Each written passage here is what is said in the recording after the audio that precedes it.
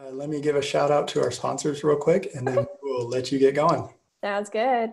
All right. So, y'all have heard me say this a few times now if you've been here for a little while, but our sponsors are awesome and we're super appreciative of them. Uh, so, at the diamond level, we've got Warner Media. Gold level, we've got Kennesaw State University, Coles College, and the KSU Department of Information Systems. Bishop Fox, who you just heard from, Coalfire, Genuine Parts Company, and NCR. At the crystal level, we have Critical Path and Synopsys. Silver level, we've got Aaron's, Binary Defense, Black Hills, Corelight, and GuidePoint Security. Bronze level, NCC Group, and our in-kind sponsors, EC Council for online training and Secure Code Warrior for the virtual CTF. Um, Crosshair Information Technology, Joe Gray, and Offensive Security and Pentester Lab made contributions for our raffle uh, be sure to go to the raffle giveaways channel to sign up for that. There's some really great prizes in there. Um, drop a pin on our map so we can see where everybody is hailing from. And with that, I will hand it over to Chloe. All right, wonderful. Hi, everyone. My name is Chloe Messdaghi, and today we're going to talk about your brain when you're doing games. So basically, this is going to be more geared towards CTFs, bug bounty, and whatnot. So let's dive in. Now, the first thing to note about this, this is my first time doing a virtual version of this, and this is an interactive talk. So to kick us off and get us started, make sure you are signed in Slack because we're gonna be doing activities together. I'm gonna share my screen. Can everyone see my screen? I take that as a yes. I'm hoping it's a yes. Let's put it that way. All right, so um, what I want everyone to do right now is there are going to be activities throughout this. And so basically what's going to happen is that I'm keeping tabs of everyone when they give any answers in the Slack. So make sure you're in track, uh, I think protect. So go track protect. And once you're in there, there's going to be throughout this thing there's going to be times where i'm going to ask you questions. Now the people who participate will be able to have a chance to get uh, point threes escalate a subscription for one month for free. Now whoever answers the most correctly will get that one month subscription. But don't worry i will give out another one and this will be a raffle. So if you participate and you have provided at least one correct answer you have an opportunity as well to win a one month subscription on Escalate. And if you're wondering what Escalate is, it basically is what we use for our CTFs. So you could do from home and so on. So let's get started.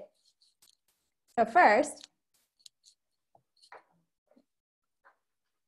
my name is Chloe Messdaghi. Um, I am the VP of Strategy over at Point Three Security and also the co-founder of WOSEC, and I head the SF chapter. And when I'm not doing that, I'm also the founder of WomenHackerz, which is a virtual platform that basically non binary and women can connect together and hack at all levels. So we have workshops, we have uh, basically share anything about CTFs and whatnot. So if you're someone who's out there who feels like you want to join, DM me and let's make that happen. Other than that, I am an organizer for the Hacker Book Club. So we are just wrapping up Tarah Wheeler's book on women in tech and we will be starting in about two weeks uh, with Marcus Carey's Tribe of Hackers. So basically, with this book club, we read the books from the hacker community, and the hacker community reads them and participates. So yes, we do have the authors do uh, join us for our sessions. Last but not least, if you see in the very bottom corner on the right side, and you will have the opportunity at the very end of this, you'll get to meet my little pup named Sherlock and that is her at the very bottom with a little diaper on. And yes, she looks like she's the she's quite peaceful and whatnot, but I have to let you know when she puts on any clothes, she stands still. She hates it completely. So I'm going to turn off my camera so that I can focus now on the, my presentation. I hope you guys don't mind, but let's dive into this. So this is the agenda today. There's going to be some history on gamification, also how our brains are stimulated by it, and why gamification helps security teams. And then lastly, we'll talk a little bit about how gamification has transformed lives, a Q&A, and bonus, I used to do a funny video, But since I'm actually at home with all you guys, you guys actually get to see a little bit live of Sherlock, which you see over there in the right side. That is her in her happy face. And yes, she is a Shiba and it is a cat slash dog slash fox. All right, so what is gamification? So gamification is basically games that work on problem solving, processing speed, attention span, and memory. And we're gonna dive into the history of gamification. Now, this is the driest part, but if you focus and pay attention, you might win something very special. So here we go. Um, in 425 BC, dice games were created to actually fight major famine. And in 3100 BC, a first board game was created in Egypt. S&H green stamp marketers sold stamps to retailers who used them to reward customers. In 1958, first video game was invented. Charles Coonradt founded a consulting firm called Game of Work, and it brings feedback loops and found in sports into the workplace. MUD1 is created by Roy Trubshaw at Essex University. It is the first multi-user virtual world game. Thomas Malone, he published What Makes Things Fun to Learn, a study of interestingly motivating computer games. And 1981 was the first ever third 3D video game that was released. American Airlines actually introduces Advantage, the first frequent flyer program known today, and Holiday Inn launches their first loyalty program. National Car Rental launches the first car rental rewards program. And at this time now, 30% of American households own an NES. A new generation of gamers is now born.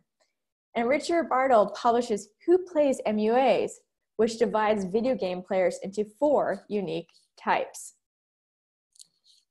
All right, like I said, make sure you all are in the Slack channel. And if you do not know and you came in late, it is the Track Protect.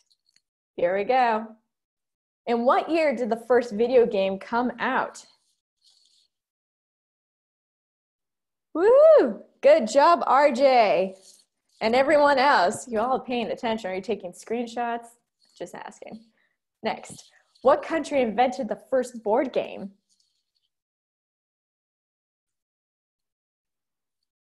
Yes, you're right, Angelica. It is Egypt. What airline did the first frequent flyer program? Good job, Brune. All right, let's continue. So the timeline here now is now we're in 2002. And Serious Gaming Initiatives forges the link between the gaming industry and realizing it, it actually helps when it comes to training, health, education, and public policy. In 2003, Nick Pelling coins the term gamification. In 2007, Bunchball created Dunder Mifflin Infinity, a gamified website for the TV show The Office. It receives over 8 million page views in six weeks. In 2009, Quest to Learn accepts a class of sixth graders into a game-based learning environment. And in 2010, DevHub adds a point system to its website and increases its user engagement by 70%. In 2010, Gamification Co. holds the first gamification summit, guess where? San Francisco. And in 2012, 45,000 enroll in a Professor Kevin Werbach's online gamification course, which was through Coursera.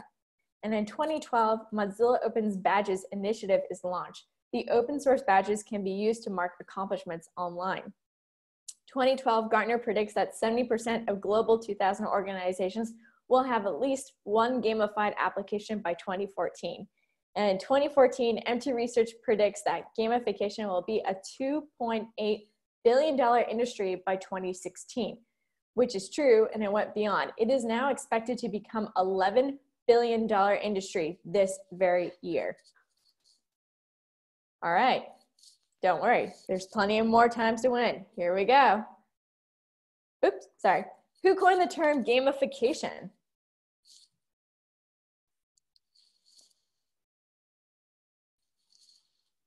No, Vishal was an SF, but who coined the term gamification? I have to admit, this one is the hardest question usually. All right, we'll go to the next one. It's Nick Pelling. What was the gamified website by Bunchball for the TV show The Office called? Yes, RJ, good job.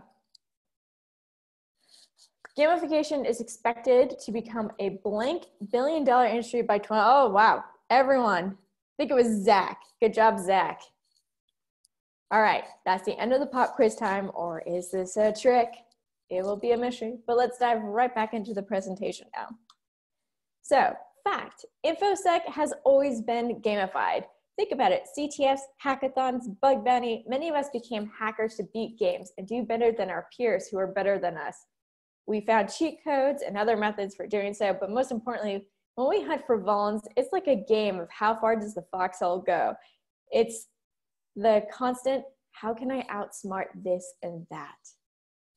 So of course I'm gonna do an InfoSec timeline um, and it's way shorter than the previous ones. So pay attention. October 10th, 1995, Netscape launches the first ever cash reward for finding security bugs in their Netscape Navigator 2.0 beta. And the first DEF CON CTF was in 1996. Bug bounty programs were created and managed by companies such as Google, Facebook, and Mozilla. And those type of platforms are Bugcrowd, HackerOne, and Synack. Pwn2Own started in 2007 and bug bounty platforms were founded in 2012 and 2013. Now, if you think about it today, companies are using platforms like this to provide training for their security teams more than ever before. And that includes actually the company that I work for, Point Three. So, like promised, it's back, another round of pop quiz time. The first bug bounty program was created in what year? 1995. Good job, Eric. When was the first CTF at DEF CON? Oh, Zach, 1996. Good job. What are the three major bug bounty companies in the order of creation?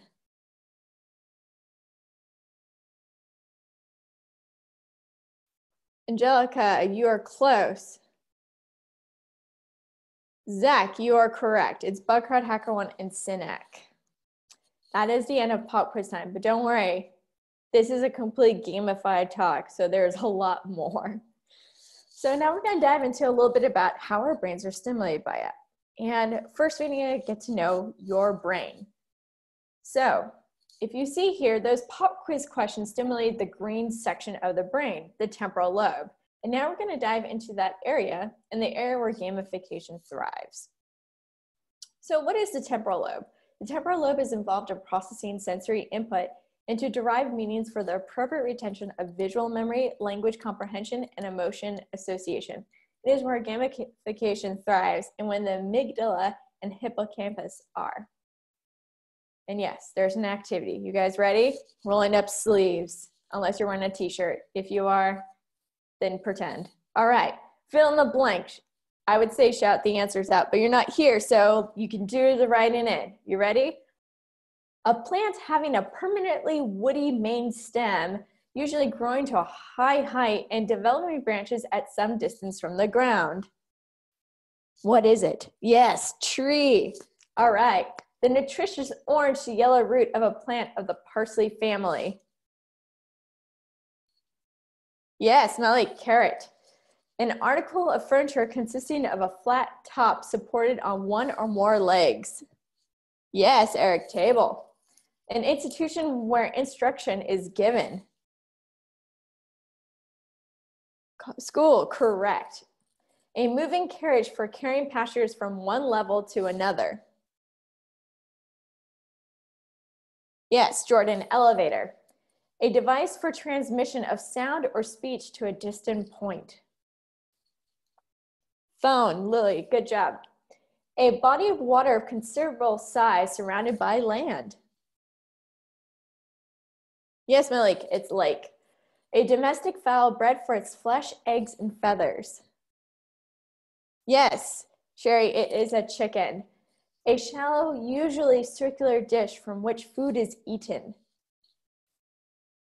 Plate, good job. A precipitation in the form of ice crystals. Yes, Anna, it is snow Any circulating medium of exchange. Currency, correct. That one's a hard one. All right. So what that activity did was that it controlled uh, different parts of your brain.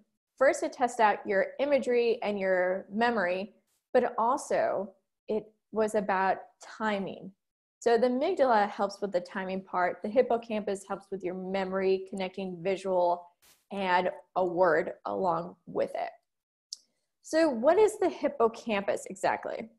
It's the memory storage and GPS system of your brain. What does that mean? It's where short-term memories in the hippocampus are then transferred to long-term memories in the temporal lobe.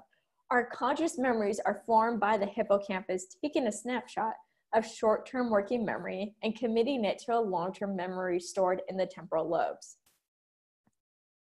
Another activity. You guys ready? We're to test your hippocampus now. The previous one was temporal lobe. This time it's hippocampus. And here we go. I want you to look at this list. I want you to read it to yourself. I'll give you read through once, then a second time.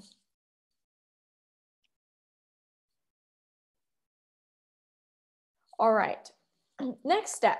Now, the next step is the following. You have two minutes to complete this task. So what I'm gonna ask you to do is draft an email, a doc, or pull up a notes app on your computer. I will give you 10 seconds to get this done. So on your computer, open somewhere where you can take down notes. Everyone ready? All right. Now you're gonna do is write down those objects that you just saw in the order that they appeared.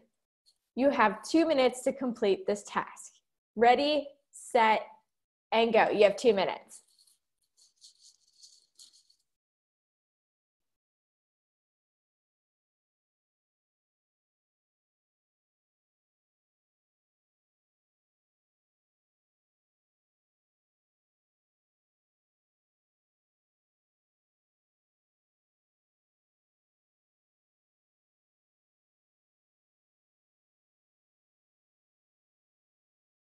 You have one minute and 26 seconds.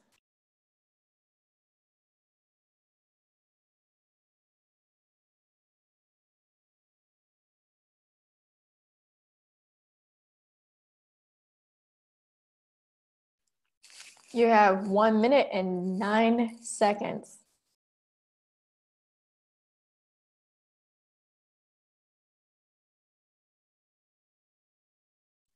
You have less than one minute. You're now leaning towards 52 seconds.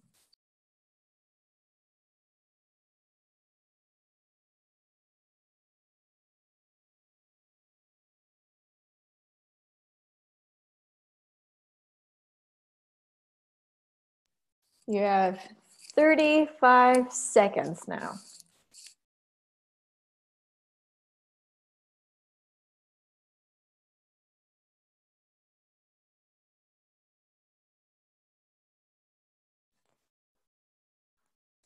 You have 18 seconds now.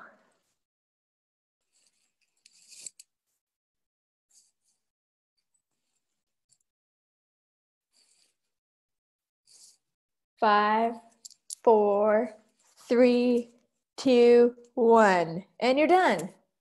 Wasn't that hard? That was super hard. I'm not going to lie. This is the list. So I know that was really hard to do, and it is very hard to do. But this is what uh, people that have memorization, they play these uh, contests and whatnot, these competitions. And basically, what they do is they think of a game. And, and by a game, I think of a memory. So, what you do is when you see a list like this, you want to memorize things, you want to come up with something that's really crazy. So, for example, I was walking around in London and carrying an umbrella because it was raining and I noticed my shoe was untied. But when I was going to look down and like tie it, I saw there was a cuddly toy on the side of the road. And it was weird because right next to it was a a, like a melon that was like rotting right underneath this tree.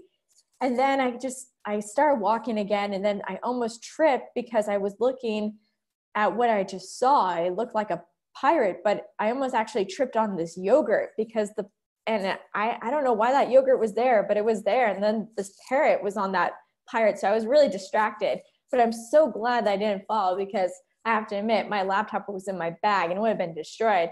And not just that, my red jumper. And this red jumper means a lot because I this is what I usually wear when I go and play basketball. So this is how people memorize these things.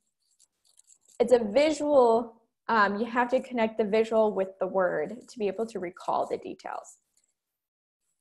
So in order to improve your hippocampus, research has shown that crossword puzzles, taking a new route home, meaning don't take the same route every time, will help you improve your hippocampus and also gaming modules, believe it or not.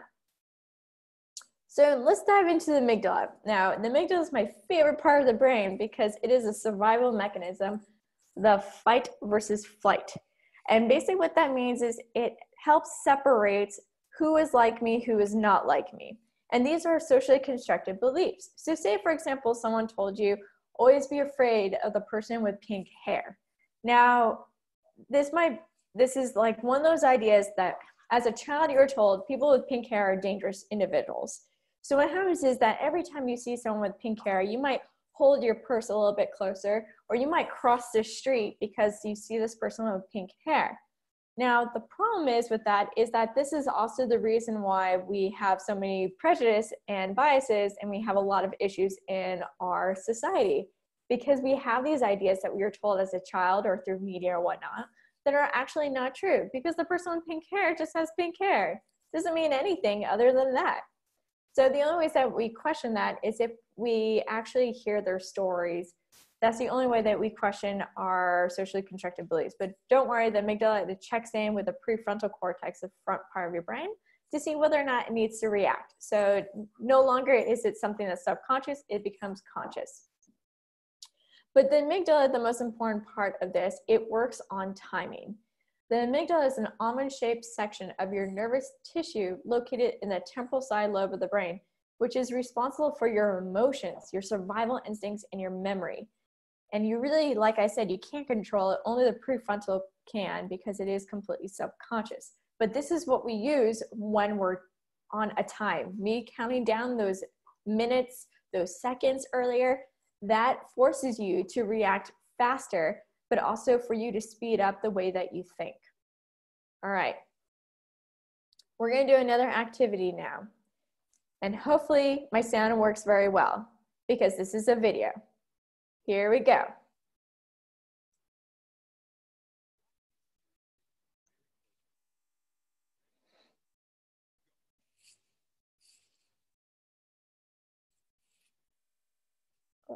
Can you actually hear this? Can someone put in there if you can hear it or not? Nope. Okay. Don't worry. Now let's try. Watch this series of images very closely. Ready? Go. Do you recall seeing any shoes or keys? Probably not. At this speed, 80% of the people we showed this to don't see either the shoes or the keys. We'll slow it down. Did you see them this time? You probably did. Now, we're going to play a different series of images. Did anyone see the keys or the shoes? Okay, you guys are really good. Majority of people do not see that. Now, here we go again. You ready? Images and test you on them after. Ready? Go.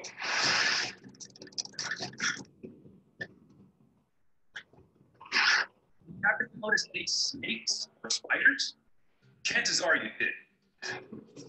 If you're thinking we slowed down the images, I assure you we did not. All we did was substitute the shoes and keys with pictures of snakes and spiders. Why did one set of images jump out at you while the other didn't? To answer that question, you do not need to know from Conran. I'm going to teach you. Any- so, the one thing, oh, I'll just go back to this. So, just to briefly summarize what happened was that for many people, they didn't catch the keys and I mean the keys on the shoes because it's everyday items. But when your amygdala is on fire, in other words, when we see things that we were socially constructed to believe of a threat, so spiders and snakes are one of those things that we've been told like stay away, they're really, really dangerous. Um, that's the reason why we actually freak out and so we actually pay faster attention. So remember, your amygdala can actually take over to a certain extent. And I don't know if anyone's ever been in a car accident before, but if you have, there's a moment when you've had really bad ones where everything seems like it's in slow motion. Now, what this is called is amygdala hijack. It's when you no longer have control of your prefrontal part of your brain. Instead, what's happening is your amygdala has taken over completely. So everything seems a lot slower because you're 100% focused on that very moment because of fear and you're in survival mode. So you go in this when you're in survival mode. And so just remember that the amygdala and the hippocampus play a huge role when we're doing gaming. And if you are really scared of spiders or snakes, I feel you. I hate I hate spiders with yeah, I hate spiders. All right. So let's talk a little bit about how now why gamification helps security teams. Let's be real, certs are not enough. There's new tools and new exploits that come out all the time, and being aware of everything at all times and the trends, along with burnout, lack of team members, it leaves us in a huge security risk. So, I mean, how many of you guys have experienced a shortage on your team and having to take on other hats to help everything move along? A lot all the time, right? I feel you, Sherry and RJ. and that's exactly the problem. Is that's why we need to dive into sorry, I'm losing my voice. Let's dive into why it's needed more than ever and how it's becoming a priority for the InfoSec community.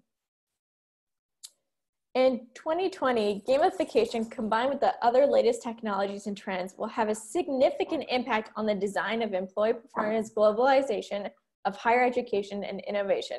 Let's dive into some more facts, shall we? And if you hear my dog right now, she is nipping me because she wants attention. Sherlock, it's okay, honey. I'll be there in a, in a little bit later. All right.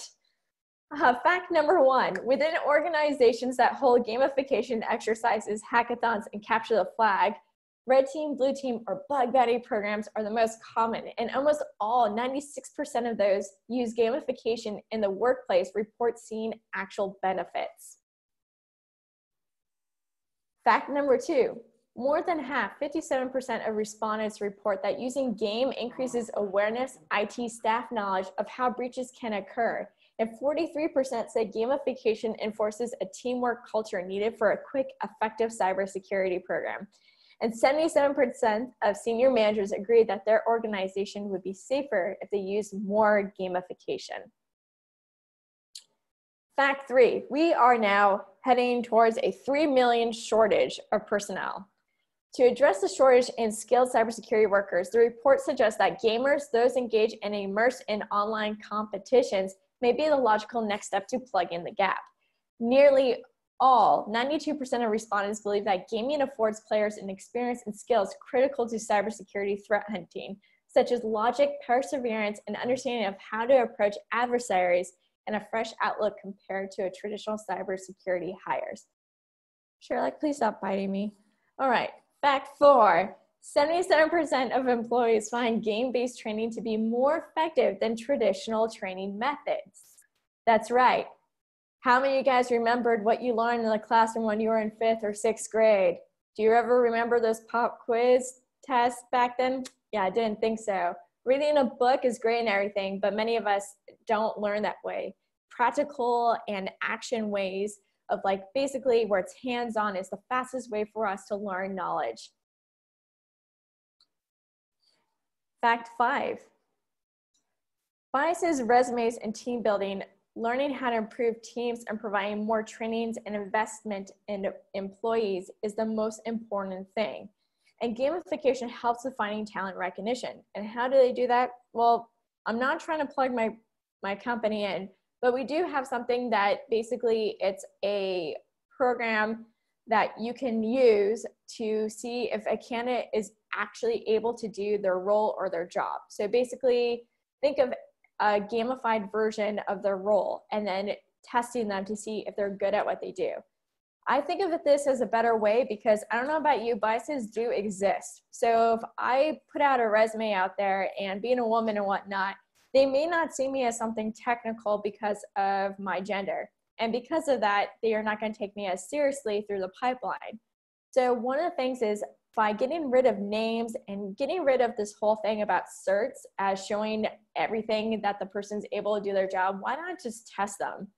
So, we get rid of the resume idea, we forget about certs because, at the reality of this, in InfoSec, it really doesn't matter. It's about do you have what it takes to do this role?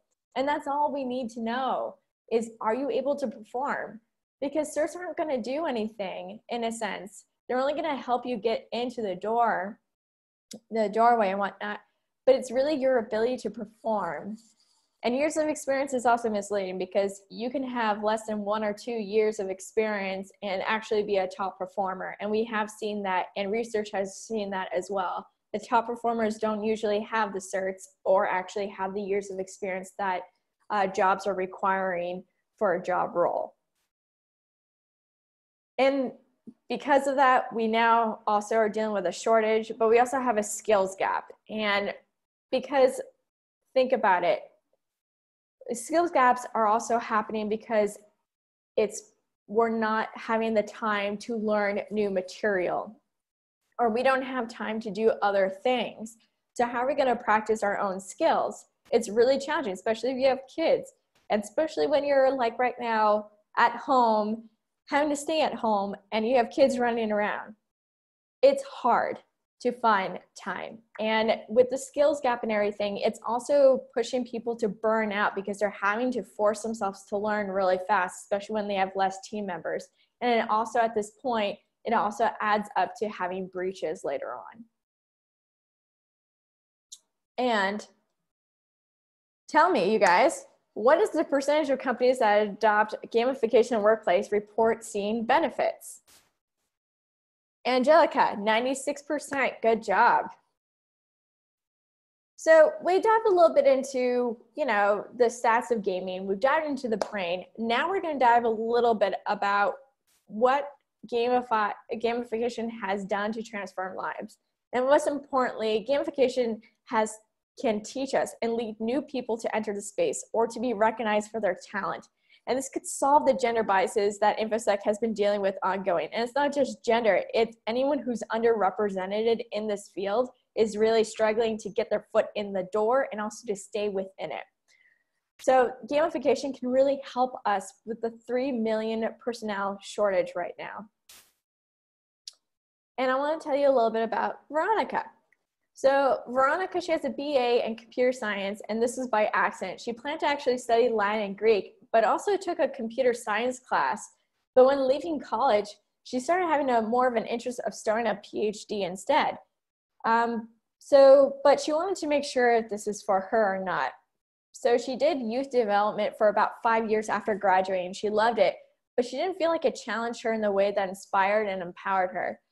So she was basically looking around, seeing if there was anything out there or program, and she came across a partnership with the DoD boot camp, and it drew her to it. They were saying in there, you don't have to have any experience whatsoever in InfoSec, but they're looking for people that are good at problem solving ability and being able to work on problems for a long time and willingness to do disciplined learning. And that was all that they put in the blurb. They also say that you need to be open to working with patterns and puzzles. So she started the reverse engineering challenge, and this was all on the Escalate platform. And afterwards, because she was so good is that uh, she went to go work for a consulting company for about six months within infosec right after that program and her favorite thing was reverse engineering her actual title at the time was a consultant as a pen tester and afterwards uh, point three uh, basically tried to pull her in and so they shared that they had an opening was wondering if she would like to join because her performance was so amazing during the boot camp and so now she works um, with us and it's been over a year now. She never set out to be a hacker. You should know this. Um, but what she did realize was that if she were to go through her Google search, she would look into seeing that she was always wondering about web app strategies and how one can manipulate to change and shape, even when she was doing her youth development for about five years after graduating. The next person is Valentina. Valentina, she lives in Chicago, Illinois, and she first studied psychology and wasn't a big fan of math. Yet she took a math class in college and suddenly discovered she happened to have a love for math, which is very common for many of us.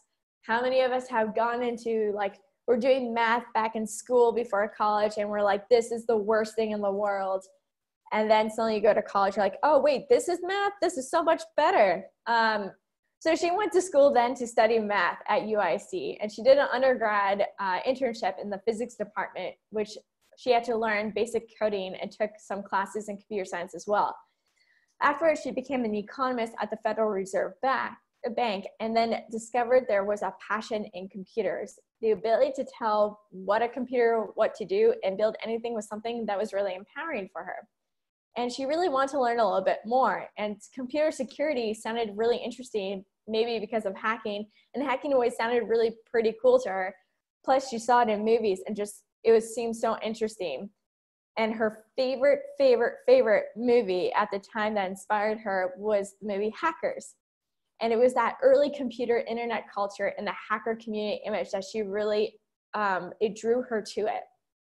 So when she saw a press release from the mayor of Chicago, um, there was something on there saying they're looking for applications for a special boot camp, which was sponsored by Escalate and DoD. And this, once again, it didn't state you have to have an InfoSec background, a computer science background. You just need to know to have that passion for puzzles and this tenacity to never keep looking and whatnot. So she had zero experience. Remember, she only really knew basic coding and took like a class in computer science, economics, whatnot. But with zero experience, within the first three months of her six month boot camp, she got a job immediately as a software developer, and now she's a vulnerability researcher, which is fantastic. And honestly, there's a lot of other stories that I've heard, but I would love to hear if any of you guys have have a story that's similar to any of Veronica or Valentina. And yes, that is Sherlock there. I have an obsession with my puppy. Um, so tell me, you guys, which person was inspired by the movie Hackers? Valentina, good job, Jeremy. And yes, I love War Games, Sherry. It's such an awesome movie. All right. Um, from stories, brain function, and history, it is clear that gamification is a necessity. So we can all be superheroes every single day. And I want to share now in the last bit here is that on Thursday, we launched a Hack to Help CTF. So if I were you guys, if you're interested in doing a CTF, this is perfect. Everyone is able to do this.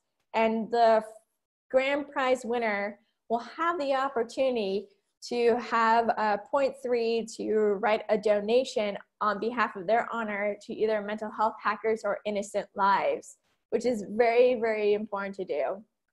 And we're also looking at some other orgs. So in case if the winner wants to pick another one, they'll have a chance to. We're looking at the food bank. So make sure to check out this. It's a lot of fun and it's three weeks like long. So you need to participate now in the first release. Then there's a second one and whatnot. And I will definitely post the link in Slack. Um, also, this is a really important time to note that there are some resources that I may have shared or may have not shared. So I wanted to take this time to do that. Um, many of you guys probably were on the earlier uh, presentation from Alyssa Miller, um, but her and Phil Wylie and myself, we are all involved with the um, ITSP Magazine Uncommon Journey podcast. We basically interview people like that you guys like to follow on Twitter and we ask them about their personal lives before they got into InfoSec and what were the lessons learned when they entered. So it's really fun to check it out and whatnot. The Hacker Book Club is something that I created recently. So it's basically we read um, like uh, books that are written by hackers in our community and the community that we are in also reads them. And anyone can join. We have weekly virtual meetings. It's every Tuesday at 5 p.m. Pacific time. People bring their wine, they bring their beer or whatnot, or drink your water or tea. It's up to you. And then um, we will be starting a new book in about two weeks' time uh, with Marcus Carey. It's going to be Tribe of Hackers. It's a great book. And you may have heard or may have not heard yet, but I did create an ethical hackers right petition. And there's the link right there. And I would love for you guys to sign it.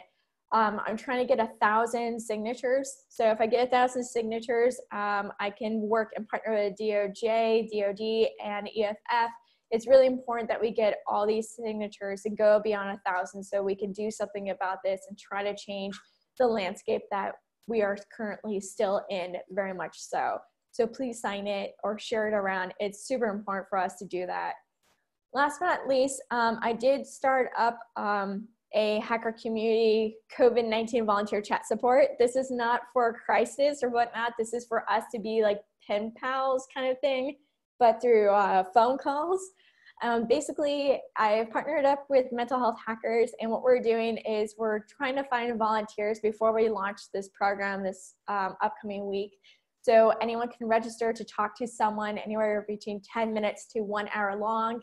And it's a really great opportunity because many of us feel isolated and alone and we want to talk to someone. So this is a great opportunity to make new friends, possibly. You could talk about whatever you want um, from books to Netflix or to even how you're feeling, if you're concerned, your worries or whatnot.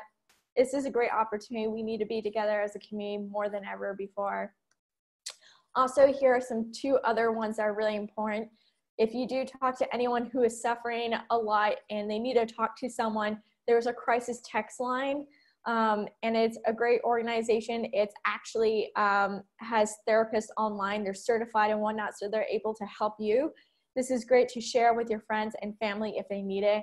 And also the National Suicide Prevention Hotline. If you are feeling really deep in depression and you having some interesting thoughts, interesting but terrible thoughts, dark thoughts and whatnot, please call that line. It's really important. Uh, I know that all of us have lost someone at some point of time because of suicide. So please push those two out there for everyone in the community to know. It is super important right now for them to know that these are these resources while we go through this really hard time. I'm going to open up to questions. Anyone have any questions?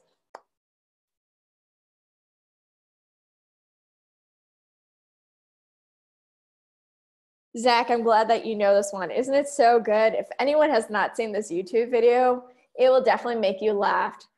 Uh, just type in uh, David S. Pumpkin SNL. You will love it. I guarantee you it will make you laugh. At the beginning, you might be like, what the hell is this? And why did Chloe do this? But honestly, it is fantastic and amazing. And I think you will love it. And it's always good to laugh right now. Um, any other questions, anyone? If you feel a little bit shy asking questions, you're always welcome to DM me on Twitter. Um, my DMs are always open. Um, and also, you can DM me here on Slack. And I just want to say a big thank you uh, to B-Sides Atlanta for doing this, this virtual thing, and also for having me. And I'm so thrilled to be here and with you guys. I just want to also say, and I always end it with thank you for existing because as I said earlier, we all know someone who has felt isolated alone. And I just want you to know that there's a wonderful community here that would love to support you in any single way possible. So if you're feeling like you need to talk to someone, my DMs are always open for you. And I just want you to know thank you for existing because you're doing such incredible work by being in this field and taking the time to try to figure out and learn more about the community that we live in. So thank you so much. And last but not least, if you are wondering, oh yeah, um, who are the winners? Let's go into it right now. So Matt Cable, congratulations. I need you to DM me either on Twitter, or on Slack, so I can get you your one month subscription. So congratulations. And I'm now gonna take a random, I'm using this wonderful random picker um, to generate who will be our second winner. So hold on one sec, let me press this. All right, Angelica, congratulations. You are a winner for the second one. So you'll get one month subscription too. So please DM me either on Twitter or on Slack so I can give you your one month subscription. So once again, you guys, thank you so much for existing. Thank you to B-Sides Atlanta. My DMs are always open. So if you ever want to reach out to me at any point in time, please let me know. I am around. I'm always going to be here to support you. And that is what I like to do the most out of all that I do in InfoSec. So thank you so much, everyone. And oh, wait, hold on. You need to see Sherlock. I will go get Sherlock. Hold on one second. Yes, please. We always need that. Right? Sherlock. Okay, one sec. She's coming.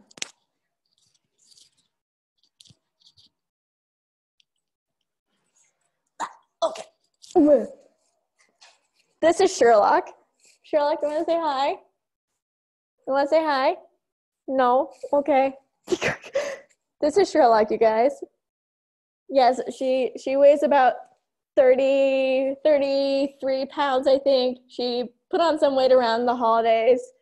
Um, she is roughly about almost two years old. She turns two in June. And yes, she is a Shiba. And yes, adorable. she has her own personality. It's beyond anything. Nice. Well, thank you, Chloe. Thank you, Sherlock, Thank you. for for being our moral support here. Uh, so our next talk in this track is at three o'clock. So we have about a 40 minute break here. Uh, so we will see you back then. Thanks, Chloe. Thank you. Thanks for having me.